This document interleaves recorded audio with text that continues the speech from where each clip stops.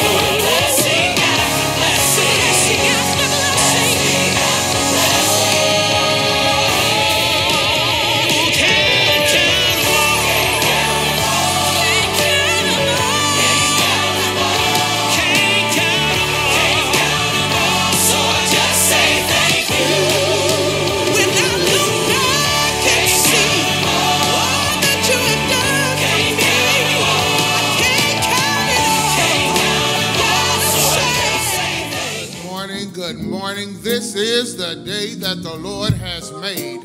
Let us rejoice and be glad in it. Come on, you can do better than that. I say, This is the day that the Lord has made. Let us rejoice and be glad in it.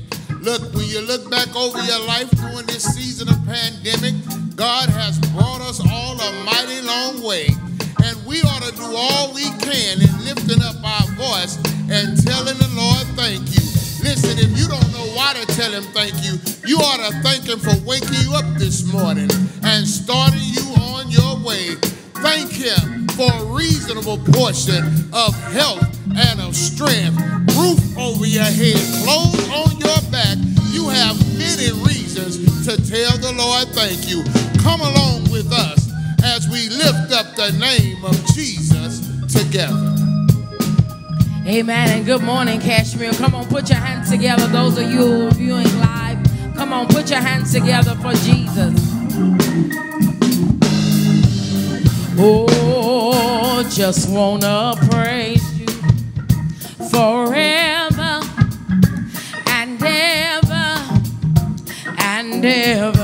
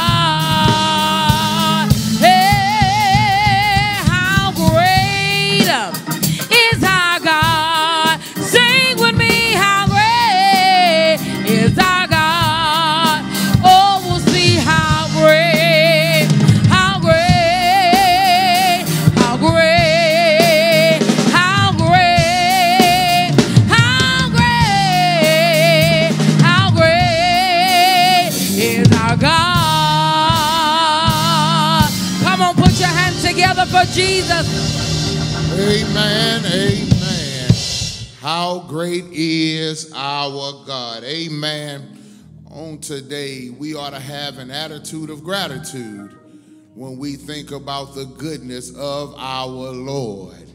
That in spite of all that we have done contrary to his will, he still benefited us with grace and with mercy.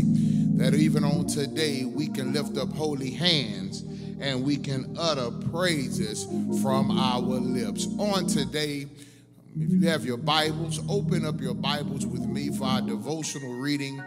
It'll be coming from Psalm 121. Psalm 121. I'll be reading from the King James Version of Scripture. And the Word of God reads I will lift up mine eyes unto the hills, from which comes my help. My help cometh from the Lord which made heaven and earth. He will not suffer thy foot to be moved. He that keepeth thee will not slumber. Behold, he that keepeth Israel shall neither slumber nor sleep. The Lord is thy keeper, the Lord is thy shade upon thy right hand. The sun shall not smite thee by day, nor the moon by night. The Lord shall preserve thee from all evil, he shall preserve thy soul. The Lord shall preserve thy going out and thy coming in from this time forth, even forevermore. May God have a blessing on the reading, the hearing, and the doing of his holy word. Let us pray. Heavenly Father, we come before you today just to say thank you. We thank you, God, for being God and God all by yourself. As we come before your presence, Heavenly Father, we recognize that this is a privilege to be able to gather and come before your holy presence. And for that, God, we say thank you. Lord, before we petition you for anything, God, we thank you for everything. We thank you for our life, for we know it is in you that we live, we move, and have our being. We thank you, God, for the forgiveness of sin through Jesus Christ, the saving of our soul through the blood atoning work of Calvary. God, for that we say thank you. We thank you, God, for giving us a mind and heart to come to you with all of our issues, our concerns, able to come to you with thanksgiving in our heart, knowing, oh God, that all things are working together for the good of us who love you and us who are called according to your purpose. And Lord, for that, we just say thank you. Lord, we come confessing that we've sinned, we've come short of your glory, but God, we thank you for Jesus Christ who shed his blood that we might have the remission of sin. Now, on today, God, we are just asking that you're creating in us a clean heart and renew a right spirit within us. Lord, during this worship service, Lord, let our ears and our minds be stayed on you. You said you would keep us in perfect peace if our mind is stayed on thee. So, Lord, we thank you for being a heart fixer and a mind regulator.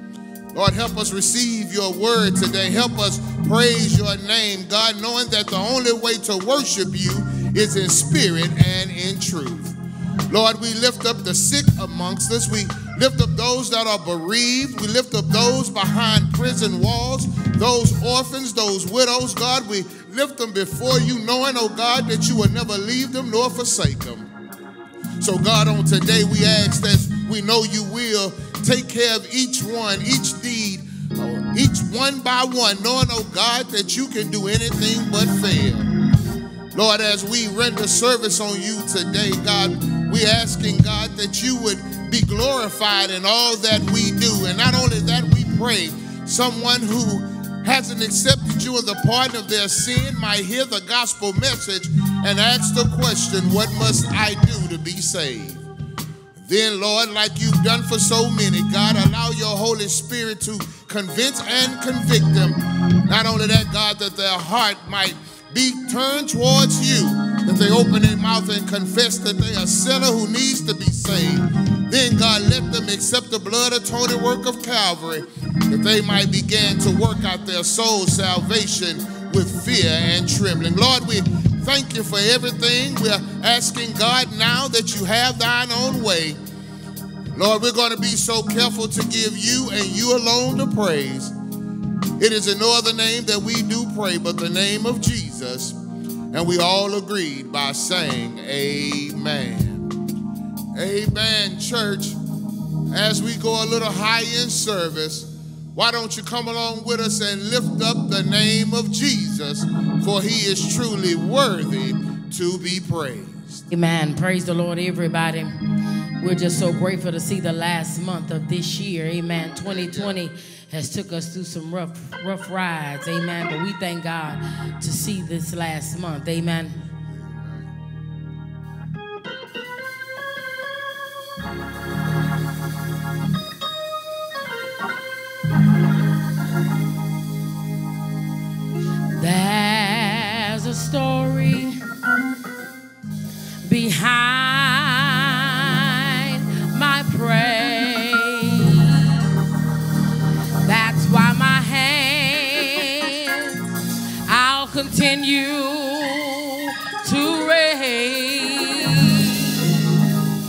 Gonna praise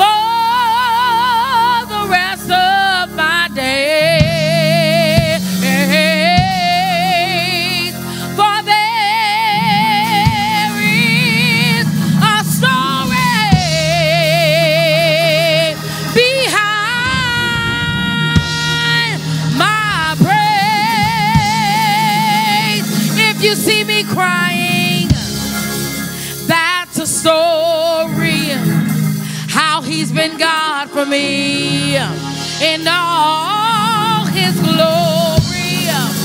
If you see me shouting, don't you be amazed.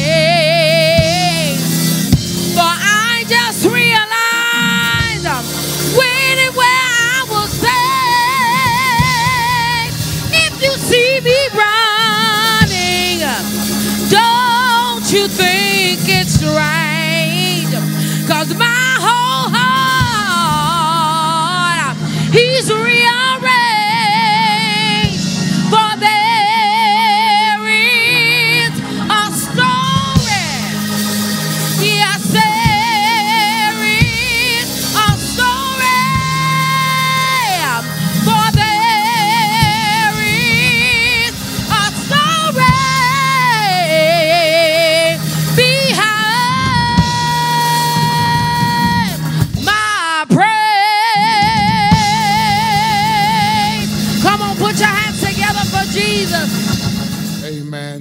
Grateful to all of you. You ought to have a story behind your praise. There ought to be some evidence. You ought to bear witness to all that God has done for you.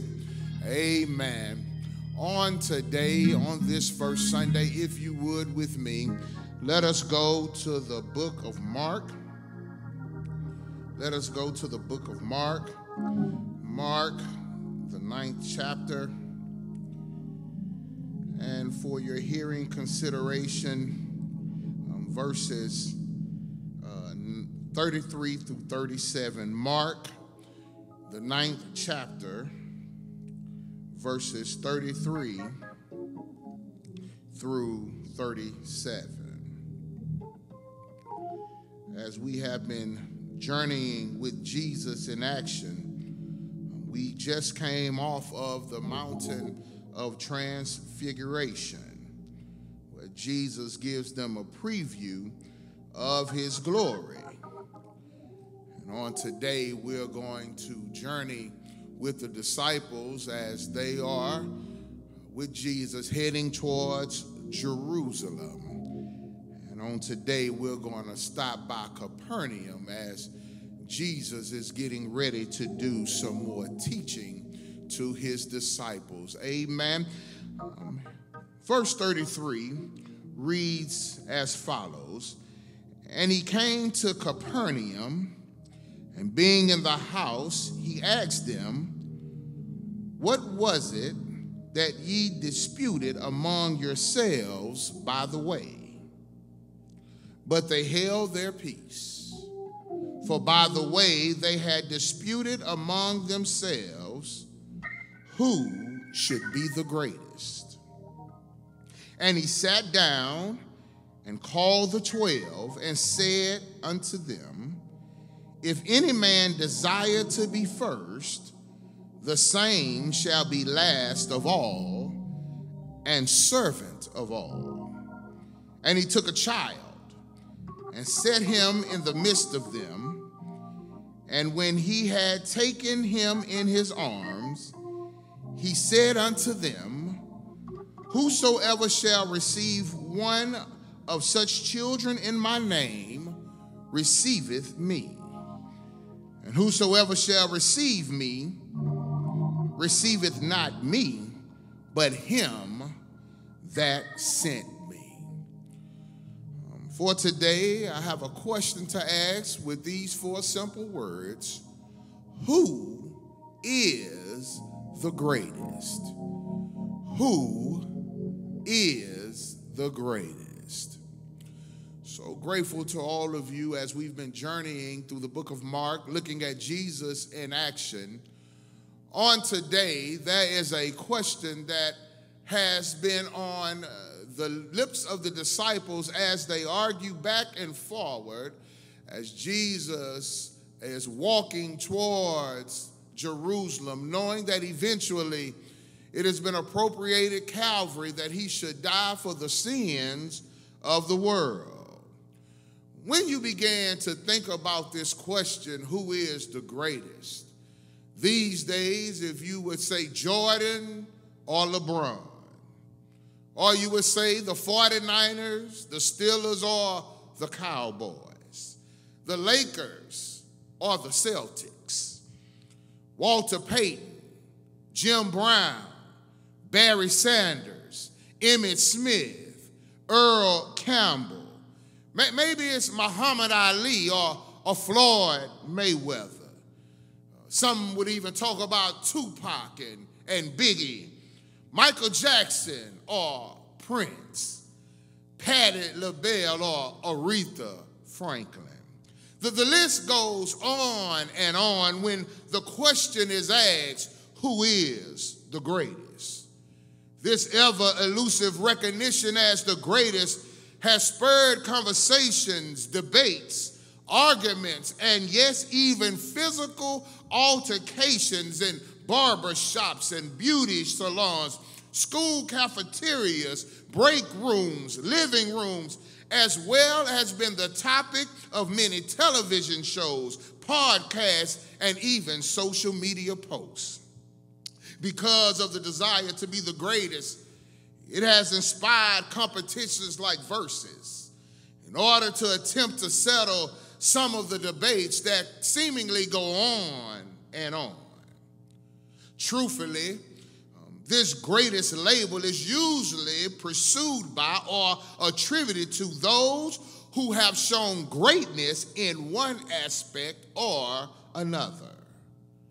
Although the body of Christ has been blessed with men and women and children who have displayed many remarkable gifts and talents, we should never be found guilty of arguing or debating about who is the greatest preacher, the greatest teacher, the greatest missionary, the greatest musician, the greatest singer. Neither should we be debating who has the greatest church, the greatest association, or the greatest denomination. The truth is, in the church, there is no place in the body of Christ because we recognize that we are the body and Christ is the head. Ephesians 2 8 and 10 tells us these words It is for by grace that you are saved through faith and not of yourselves. It is the gift of God, not of works, lest any man should boast. For we are his workmanship, created in Christ Jesus unto good works, which God hath before ordained that we should walk in them. Today, as we look at our text, let us not look from the outside in, but rather let us sit among the disciples as Jesus teaches a very important lesson about greatness and discover the practical solution regarding the issue of self promotion and of self aggrandizement. The first thing we see in our text is that there is a personal concern by Jesus. He stops and he asks them a question What are you discussing? What are you uh, debating or disputing, arguing about among yourselves?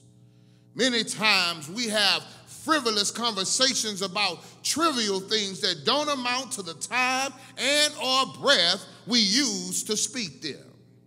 Here, Jesus asks a straightforward question, and the response to these debating and arguing disciples was nothing. Crickets, utter silence. You, you, you would think that, that, that it's probably because they were embarrassed or, or ashamed uh, of repeating the nature of the conversation and it caused all of them at once to say absolutely nothing. even Peter, who we know have a propensity to always have something to say, sat in utter silence at the very question that Jesus has What are you really talking about? Well, what happens is after he, he points out this personal concern, he then lets us see that there is a point of contention of the disciples. That This point of contention is being the greatest. I can only imagine what this round robin conversation was um, as it begins to state, as they begin to stake their claim at being greater than the other one chimes in why he's the greatest and ever moving the requisites of how greatness should even be defined. You know how when you get in an argument, you listen to what they say and then you rebut what they say with what you're saying. And then it goes back and forth. And most times there is no resolve. As a matter of fact, uh, adult, mature people say, we just going to agree to disagree. Can, can you imagine Peter, James, and John after they are fresh off of the mountain of transfiguration? Getting a preview of Jesus's glory. Can you imagine them looking at the other nine saying, I, I know it got to be out of us three. We were the ones with Jesus when Jairus' daughter was raised from the dead. And you know what we just saw on the mountain. It, it has to be out of us. And then can you see Peter boldly stepping up saying, Yeah, it has to be out of us three, but it has to be me because I'm the one, when the question was asked, Who do you say that I am? I'm the one that said, Thou art the Christ, the Son of the living God. Not to mention, your boy has already walked on water. And Andrew, his brother, probably chimes in and says, Man, uh, if I didn't tell you about Jesus, you never would have met Jesus. You still would have been in the middle of the Sea of Galilee fishing. So everything that you've become is because I'm the one who plugged you in to knowing who Jesus even is. I can see Matthew saying, I was handpicked by Jesus, and in spite of my reputation as being a tax collector, he still saw something in me and he called me to follow him because of my knowledge uh, of the Roman taxation system, the ability to make sure that the kingdom of God is not being cheated. I'm sure that he picked me, and that's why I'm the greatest. Then I can hear Judas say, Yeah, you may know about taxation, but, but I'm the one that's trusted with the money. And you know you don't give your money to anybody. I must be the greatest among all of us. It is no wonder these men were embarrassed by their argument when they're talking about among themselves seemed to be such an important issue. But when they stood before Jesus, they suddenly could see how silly, immature, arrogant, and self centered they had been. Here, Jesus is talking about matters of eternity, and all they could focus on is their self interest, things that benefits them. And when we're dealing with the Son of God, it is always imperative that we are seeking His will and not our own. Look, my brothers and sisters, don't shun our dear brothers because of their immaturity. These same attitudes still resonate in our midst today. Check, check out the myriad of local assemblies or churches, and you will find silly arguments and discussions regarding positions of privilege, prestige, and power. You know, I run this, I have that, I give this, I did that. Yet the truth is, the Bible says it is in Him that we live, it is in Him that we move, and it is in Him that we have our being. Jesus, realizing that His disciples have much to learn about kingdom principles, takes the posture of a teacher. As verse 35 records, He sat down and called the twelve. Here, Jesus now after he sees their point of contention being who is the greatest, now he brings up the point of consideration. Look at what he says. He says, If you desire, if you intend to be first, he says, you will be last. You will be the servant of all. In the human mind, to be first means to be better than everyone else. To be first means to be preeminent, to be the one that's out front. Surely I cannot be the greatest and be the last. Surely I cannot be the greatest and be the servant of all. For, for the truth is, when you're the greatest, people serve you. You don't serve people. This is something that is beholden to many of us. It is a very carnal thought. As a matter of fact, um, to think that you even deserve such the privilege as another uh, to be under you, recognizing as if you are better than someone else, um, shows that your mind uh, has not been transformed, that it is really still conformed to the ways of the world. Jesus later would tell his disciples that it is the Gentiles who lord over people, who, who uses their position and their power uh, in order to keep a place of prestige. He says, but it ought not be like that for you. You, you ought to be willing to humble yourself and, and spur someone on to, to good works. You ought to esteem others better than yourself. Jesus now is, is going to uh, take this paradox, if you will.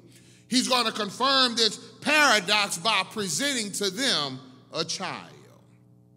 After hearing this teaching of the first being last and servant of all, Jesus is now preparing this demonstration uh, and another paradoxical teaching. When I say paradoxical, I'm talking about uh, a paradox. It is a tenet, a principle, belief, or doctrine generally held to be true, but it's contrary to the received opinion.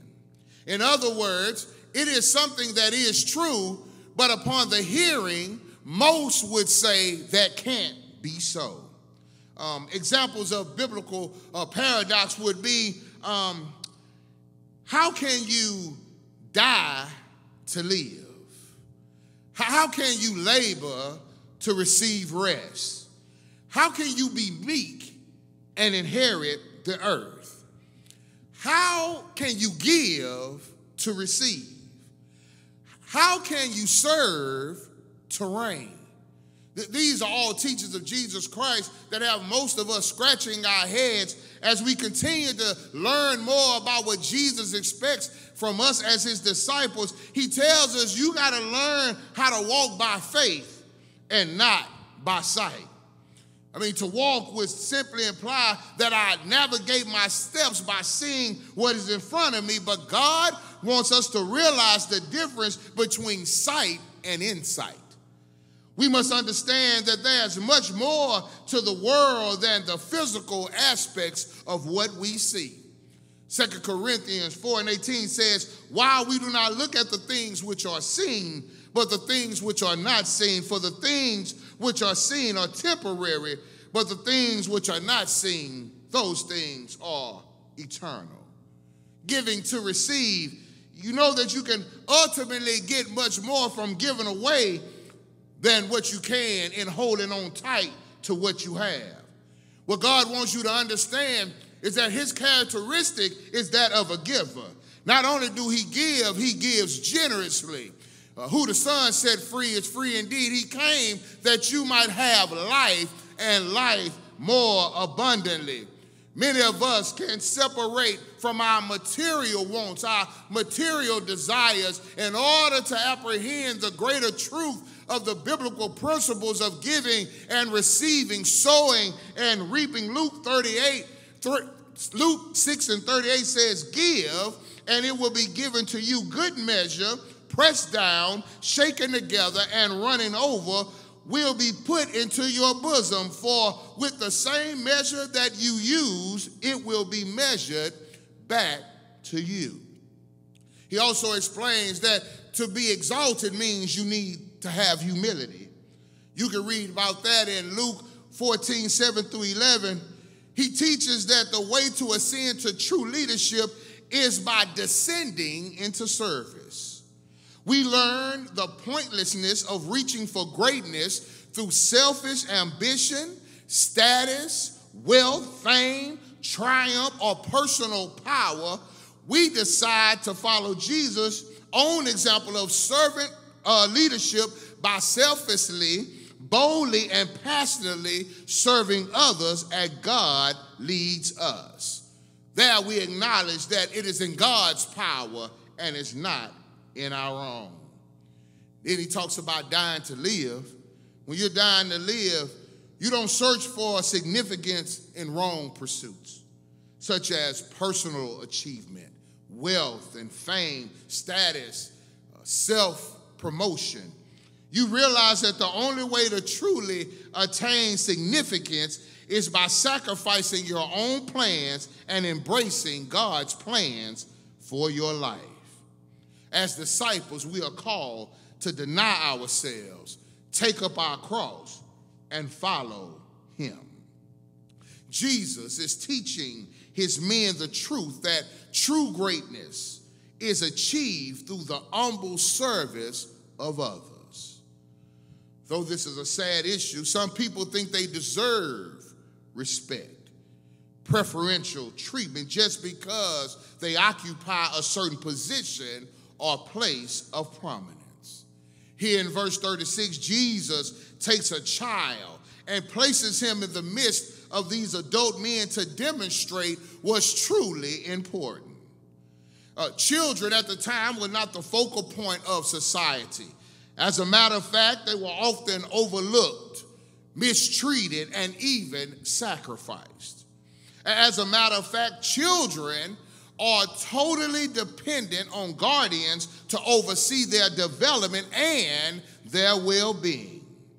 Look at what Jesus does. He takes the child into his arms as he teaches them which gives us a practical demonstration of the care and compassion of Christ. The protection provided as well as the obvious submission of the child who, at the beckoning of Jesus, stood in the midst of men and ultimately ended up in the arms of our Lord. Jesus tells them in verse 37 that if they would receive a child in his name, in fact, they are not only just receiving Jesus, but they're also receiving the Father who sent him. This word receive uh, carries the connotation of displaying hospitality. During these times, hospitality was very important. When a person showed up to your home, you were expected to receive them and to serve them, meeting all of their needs. You remember when Jesus sends his disciples out two by two, he sent them out with absolutely nothing and told them that wherever you go, wherever you're received, he says, you, you sit there with that lodging and whatever they give you, you accept that as hospitality. However, if you're rejected, he says, then you are to shake the dust off of your feet. Um, Jesus telling us that when we serve the least among us, we are really serving him. By serving him, we're also serving God the Father as well. It, it, would seem that by now these disciples would have learned this lesson. However, we're going to see later that James and John is going to ask to sit on Jesus' right hand and left hand when he comes into his glory. Even at the Last Supper, as Jesus is preparing to die, this very conversation, this very argument about who is the greatest will continue at the table as Jesus is preparing to die. The truth is that at this point, we need to do some introspection of our own selves because so many of us have been pursuing things that God has not willed for our lives. And we wonder why we're like the hamster on the wheel, ever using up all of our energy, all of our time, and it seems like we're going nowhere fast. And it is because that we have not truly put our hands in God's hands. We truly have not taken our time to recognize that when you're in the presence of Jesus Christ, you're in the presence of greatness. Oh, yeah, yeah, yeah. Not just greatness, He is the greatest with all of us who have ever displayed any unction of greatness. What I like about Jesus is that He reminds them by bringing a child in their midst to let them know that unless you're able to receive as a child. What, what do we know about children's attributes? Um, they are totally dependent. And listen, if you are the authority over them, they expect you to be able to do anything. I don't care what you make on your job. I don't care what you're going through in your body. I don't care what's happening in your family. Children have an expectation because you are the authority set in their life and because you've been given the stewardship of their life, they trust that you're going to do everything you can to make sure they're taken care of. Jesus shows us as his children that we ought to have complete trust in him that we ought to recognize that he is the greatest and not only that we ought to humble ourselves before his mighty right hand knowing that it is him and who, him alone who's going to see us through this is just a reminder to us, Cashmere, as part of our mission statement. We are to help save those that are lost. We are to serve those that are unfortunate. We are to strengthen those that are weak. We ought to be in the place of servitude and not being served. Jesus set this example for us as Paul pens these particular words in this passage in Philippians 2 1 through 11. In verses 5 through 11, he gives the epitome of humility. He says it like this If there be any constellation in Christ, if any comfort of love, if any fellowship of the Spirit, any bowels of mercy, fulfill my joy, that you be like minded, having the same love being on one accord of one mind. Let nothing be done through strife or vainglory, but in lowliness of mind, let each esteem others better than themselves. Look not every man on his own things, but every man also to the things of others.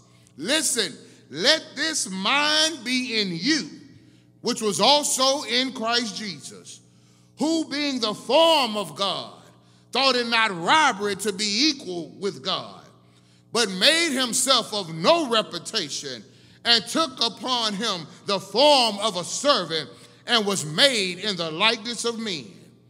And being found in fashion as a man, he humbled himself and became obedient unto death, even the death of the cross. Wherefore God has also highly exalted him and given him a name which is above every name. That at the name of Jesus every knee should bow of things in heaven and things in the earth and things under the earth, and that every tongue should confess that Jesus Christ is Lord to the glory of God the Father. This is all I was getting to. Jesus is the greatest. He, he was a servant to the neediest of people. He was a servant to those who could never repay him. He was a servant to those who would fail him, deny him, and ultimately dishonor him. He was a servant to you and I as he goes to a hill called Calvary and allow them to nail his hands, nail his feet, a crown of thorns to be placed on his head, to be pierced in the side until blood and water came running out. It is at the shedding of blood that is what gives us remission of sin, which allows us to know that he is the greatest because I know that after they put him in that grave, that he stayed there for three days. And bright early on that third day morning, he was resurrected by the power of God with all power in his hand power over death, power over sin, and power over the grave. There should never be a dispute about who is the greatest. There ought to be an emphatic there ought to be a praise on your lips when the question is asked, Who is the greatest? You ought to be able to say, Jesus the Christ, the Lord of Lords, the King of Kings, the one who one day will return to receive us to himself, that where he is, there we may be also. I pray today that as you consider this question, who is the greatest, that you make sure that you yourself hasn't become so caught up in religious behavior that you're not so impressed with yourself and your position, your prestige, your power, your money, your education, your family. Well, whatever you think makes you the best and the greatest of anything else, you ought to recognize that if it had not been for the Lord's grace and his mercy, the truth is all of us would be on our way to a burning hell. So we ought to thank God today for taking time with us and these disciples and teaching us who truly is the greatest. Amen, church. I pray that something was said today that will encourage you to go on a little further in Jesus' name. Perhaps you have not yet received Jesus as your Lord and Savior. And a lot of times, what prevents many people from accepting Jesus is church people. Yeah, I didn't say saved people, I didn't say believers, I said church people. A lot of people want to come in and want to share, but they're afraid they're going to be looked down upon, that they're going to be mocked and ridiculed. They're going to be treated unfairly because of what they have been or what they are going through. But let me encourage somebody um, all have sinned and come short of the glory of God. The Bible says, For God so loved the world that he gave his only begotten Son, that whosoever believes in him, and we're all part of the whosoever. It's just a matter of you taking time to really assess your life, recognizing you were born in sin, shaped in iniquity. The wages of sin is still death. But the gift of God is eternal life through Jesus Christ our Lord. You can accept Jesus Christ right where you are. All you have to do is confess with your mouth, believe in your heart that Jesus Christ died, was buried, and resurrected by the power of God. And the Bible declares you shall be saved. Listen, I know, I know. Somebody's going, but, but Pastor, I don't want to look like a hypocrite. Let me tell you something. You're going to be working out your soul salvation until you die. You, are not going to accept Jesus and all of a sudden you're perfect, doing no wrong. No, what happens now is that when you do wrong, you, you have a contrite spirit and you pray and you confess your sin, and God is faithful. He's just to forgive you of your sin and cleanse you of all unrighteousness through His Holy Spirit. He will give you a new walk, He'll give you a new talk, He'll give you a new life. I'm a witness. I know that I don't deserve anything that I have, but God has blessed me in spite of me. And I will glorify his holy name because I know it had to be the Lord who was on my side. I invite you today to accept Jesus as your Lord and Savior. Look, maybe you don't have a church affiliation. You, you're going from, as my grandmother would say, from pillar to post. You need to settle in on a place where you can learn and fellowship and allow the Lord to use your gifts and talents that He put in each and every one of us that you might help a church grow and develop. I pray that if you're looking for a church home, we'll welcome you right here at Cashmere Garden Missionary Baptist Church, where the vision is we're a church where every member is a disciple of Jesus Christ. And we're building a family devoted to God through Jesus Christ our Lord. Listen, don't let this year conclude. Don't let this day go by and you haven't settled your account with the Lord. You might as well go ahead and make your reservations in heaven. It's not going to get any easier around here, but let me let you know with Jesus, every day is sweeter than a day before. I can testify. I've had ups, I've had downs, I've had good days and seemingly bad days, but He was with me through them all, and He'll be there with you. I pray that while the blood is still running warm in your veins, that you would accept Jesus as your Lord and Savior and allow Him to take the reins of your life and lead you into the place of peace, the place of hope, and the place of victory. On today, you can accept Jesus as your Lord and Savior. Amen, amen. At this time, we ask that you prepare your hearts and minds to be wise stewards over what God has blessed you with. It's giving time. It's time for worship through giving. Every man according as he has purpose in his heart, so let him give, not grudgingly or of necessity, for God loveth a cheerful giver. 2 Corinthians 9 and 7. We can all stay connected by way of text.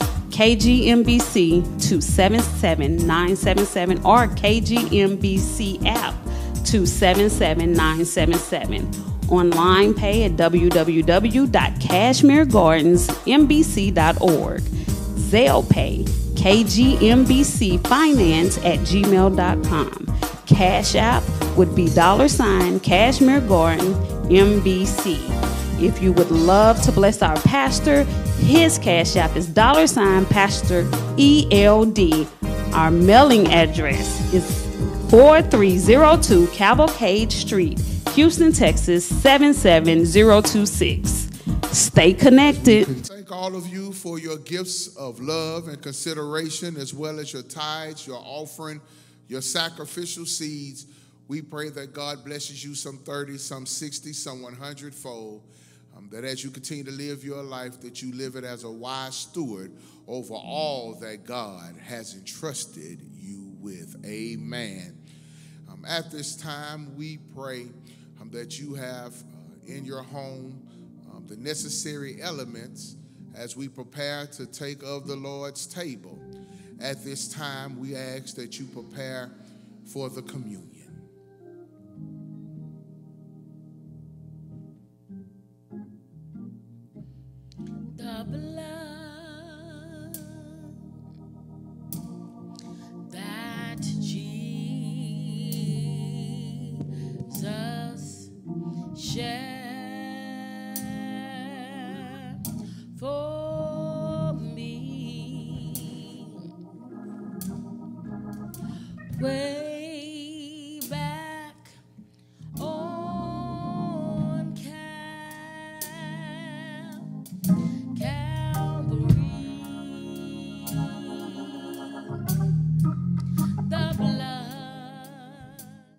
Amen. I pray that you have your elements prepared and are ready to receive of the Lord's table.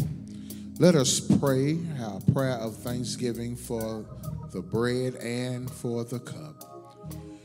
Heavenly Father, we thank you for the bread which symbolizes your body, which was beaten and bruised for us. We thank you, God, for the blood that was shed for the remission of our sins. Lord, we thank you for the ultimate sacrifice of your life that we might have life and life more abundantly. So, Lord, as we come before you today to remember your death, burial, and resurrection, let us do so, God, acceptable in your sight, that God, you might receive glory from all that we do. It is in Jesus' name that we do pray, and we all agreed by saying, Amen.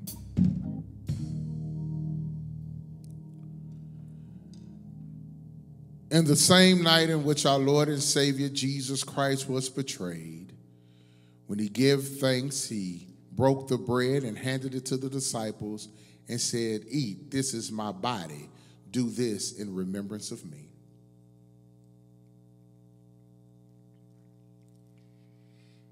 And in the same manner, he took the cup and said, This is the blood and the new covenant, which is shed for the remission of your sins. Drink ye all of it.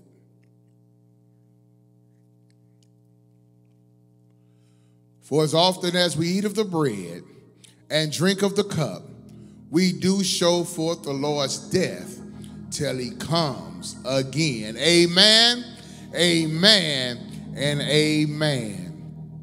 Listen, my brothers and sisters, as we are concluding this first Sunday service, um, let us be mindful that we're still in a pandemic. Please continue to wear your face coverings. Continue to wash your hands and practice social distancing. The numbers are going up, and we're out here living with reckless abandonment. Listen, let us be wise stewards over the body which God has given us, and let us be wise in our decision making. Listen, Cashmere, I miss you, and I pray that all of you are continually reading your word, praying, and seeking God. I look forward to 2021 being an exciting year here in the garden. Regardless of what it looks like now, I walk by faith and not by sight. I trust God with all things, and so I know God is going to see us through. Come on, look at me so I can bless you and dismiss us. Now may the grace of God, the love of Christ, the sweet communion of the Holy Spirit, may it rest, rule, and abide with us now and forevermore. And we all responded by saying, Amen. You know what to do. Look at somebody right around you and tell them, I love you. And there's nothing you can do about it but love me back. And as I always tell you, Cashmere, a better me makes a better us. Enjoy your day, enjoy your family. Go in peace.